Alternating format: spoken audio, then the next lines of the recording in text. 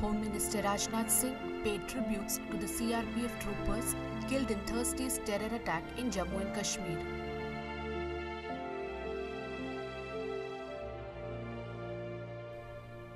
He will take part in the wreath-laying ceremony on the bodies of the troopers at the CRPF camp in Badgam district.